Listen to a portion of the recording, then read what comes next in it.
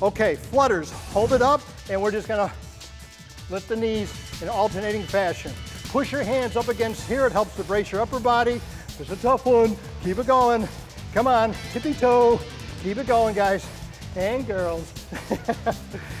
oh, that's right, Jill's doing the beginner one, so she's got it easy. Keep it going. Those of you at home, you can fluctuate between beginner, intermediate, and advanced. Go at your own pace. Change paces throughout the routine. Okay,